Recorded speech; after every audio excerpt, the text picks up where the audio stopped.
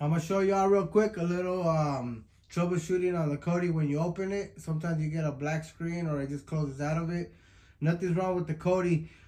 Um, it's just sometimes it does that. I don't understand why it could be an update or something. I'm not sure, but for the most part, it all works perfectly fine, and it happens to myself as well too. So I'm gonna show you real quick on how to fix that. So you open up Kodi, and if it doesn't want to open, it just turns into a black screen or it closes out just like it did to me right now. Try to open it again.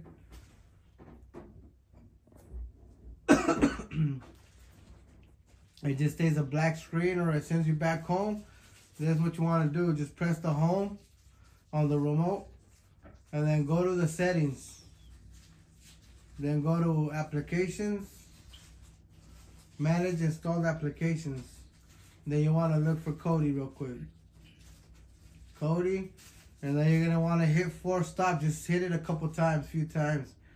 Then after that, you're gonna want to hit clear cache hit that a few times. So one thing that I always tell all my customers, you never ever want to hit clear data. Once you do that, it's going to delete everything I installed inside of Kodi. And I'm going to have to reinstall it. I know sometimes an accidents happen you do that. But don't ever click, uh, click on clear data. Once you do both of those things that I just showed you right now, just back out, press home, then go back, click on Kodi, and open it and it'll open back up perfectly fine and your, pro your problem is solved right there. I hope that helped guys. So if you got any more questions, you need help, just get at me.